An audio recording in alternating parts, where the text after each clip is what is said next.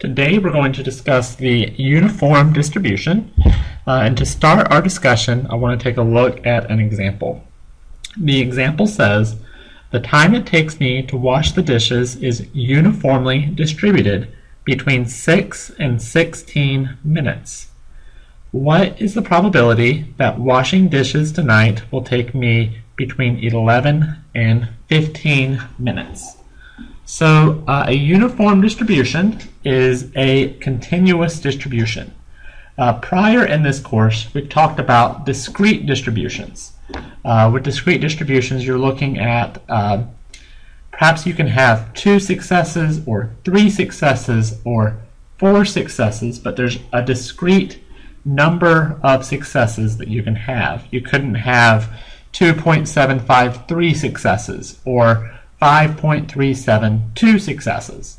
Uh, here, though, uh, if it took you 12 and a half minutes to wash the dishes, that would be a success.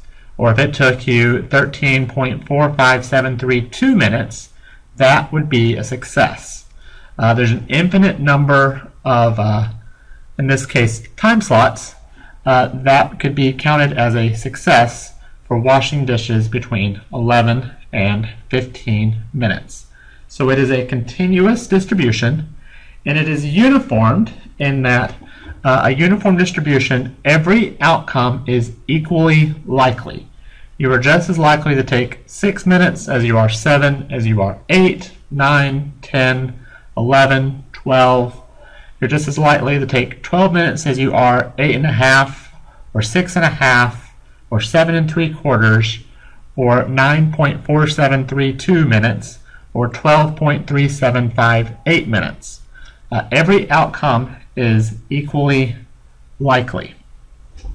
So because each outcome is equally likely, uh, the distribution will be shaped like a box. So let's see if I can get my tool to work here.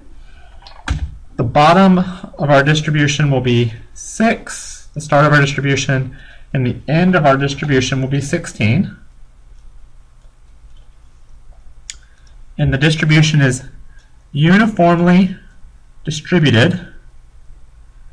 I'm going to construct it to look like this. And just to provide a little bit of intrigue, let's see if I can get this to be gray. There we go. All right, so here's our distribution. Uh, we have a formula. We can take a look at that. So this is a uniform distribution, which is defined on um, a uniform interval from 6 to 16 in our case. So A would be 6, B would be 16, where A is less than X less than B. And f of X is defined as 1 over b minus a. So in our situation, we're looking at 1 over 16 minus 6, which, as you can probably tell, would be 1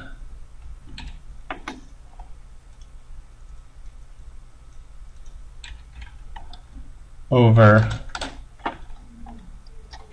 10.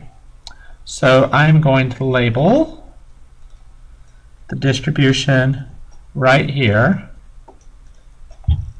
as 1 over 10. Uh, so why are we going to do 1 over b minus a? Well, one way you could think of this is to think about the area of a rectangle. You know that uh, with a distribution, the sum of all possible probabilities must be 1. So the area of this rectangle has to be 1. So if the area equals 1, and we have an interval of 10, or a length of 10, what height would give us an area of 1? It would be 1 tenth. So that's where this 1 over b minus a uh, comes from. All right, uh, this particular question asks us what is the probability that washing dishes will take between 11 and 15 minutes? So I'm going to mark um, 11 here.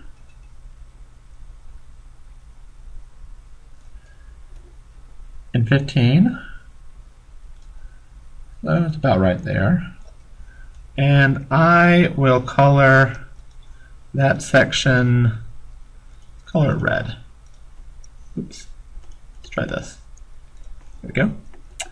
All right, uh, let me number it off here. So this is 11,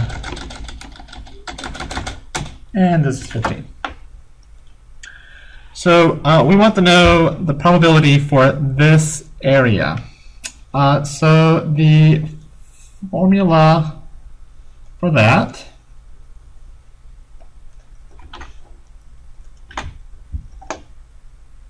would be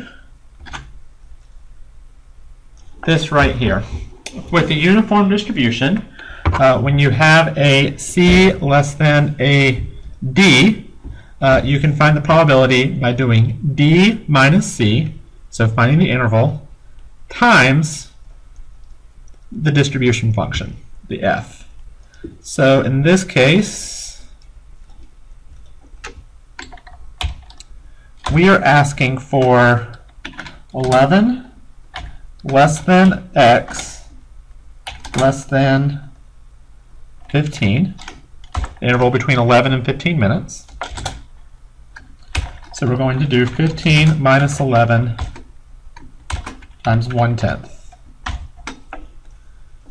And I'll stretch this out so we can see it. Uh, 15 minus 11, it would be 4 times a tenth.